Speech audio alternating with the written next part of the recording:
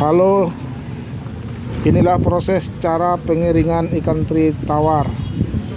Lokasi ini ada di Pantai Barat Tepatnya Setia Karya Natal.